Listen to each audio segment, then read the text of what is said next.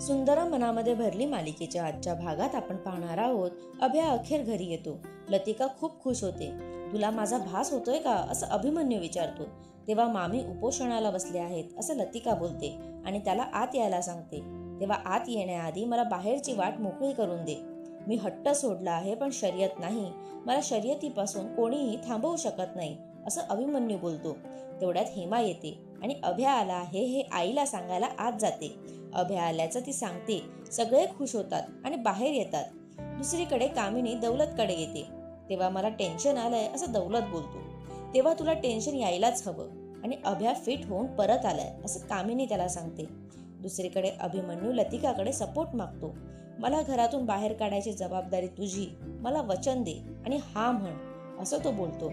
तेव्हा माझी इच्छा आहे पण मी तुला मदत करू शकेन की नाही हे मला सांगता येत नाही असं ते उत्तर देते. तेवढ्यात आई तिथे येतात. त्याला बघून आई रडायला लागते. अभिमन्यू तिला ओरडतो. उपोषण का करते म्हणून तो चिडलेला असतो. तेव्हा आई हेमाला भाकर तुकडा आणायला सांगते. त्याची नजर काढते. आई त्याला आत बोलावते. तेव्हा येऊ ना मी लतिका असं अभिमन्यू तिला विचारतो. लतिका हा म्हणते अभिमन्यू खूप खुश होतो.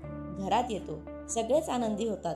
तिकडे अभ्या परत आला हे ऐकून दौलतला टेन्शन येतं. तेव्हा तू अजिबात स्मार्ट नाही. तुझी लायकी नाही. ती लतिका सुद्धा तुला टशन देऊन जाते.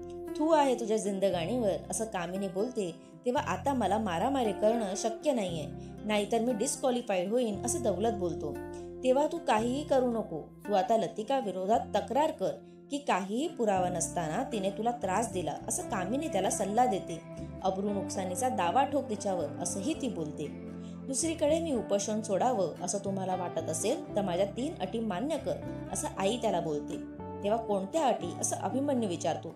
तेव्हा या अटी फक्त तुझ्यासाठी नाहीत लतिकासाठी पण आहेत असं आई त्यांना सांगते. अट क्रमांक एक. शर्यतीचं नाव तोंडातून काढायचं नाही. अट क्रमांक दोन. गपचूप संसाराला लागायचं. आणि अट क्रमांक तीन. येत्या वर्षात गोड बातमी द्यायची असं आई त्या दोघांना सांगते. आणि नातवंड मला हवीत असं ती आशूला सुद्धा सांगते. लतिका आणि अभिमन्यूचा चेहरा पडतो. दुसरीकडे मी काहीही करू शकत नाही असं दौलत सांगतो. पण कामिनी त्याला भडकवत असते. तेव्हा दौलत डोक्यात राग घालून घेतो आणि तिथून निघून जातो. इथे आई अटी सांगून उठते. अभिमन्यू तिला अडवतो. तेव्हा ती अटी मान्य असतील तरच मी जेवणार असं आई बोलते. हेमा लतिकाला हो बोलायला सांगते. लतिकाला खूप टेन्शन येतं. तेव्हा मला मंजूर आहे ही अट असं अभिमन्यू बोलतो. आणि आईला जेवायला सांगतो. त्याच्या या उत्तराने लतिकाला धक्का बसतो. आई खूप खुश होते. दोघांनाही जवळ घेते. अभिमन्यू आईला साखर भरवतो आणि पाणी देतो. लतिका मात्र वेगळ्याच विचारात असते. अभिमन्यू तिचा हात पकडतो आणि आईला जवळ घेतो. रात्री सगळे जेवायला बसतात. तेव्हा हेमा लतिकाचं कौतुक करत असते. आशू अभ्याला लतिकाला घास भरवायला सांगतो.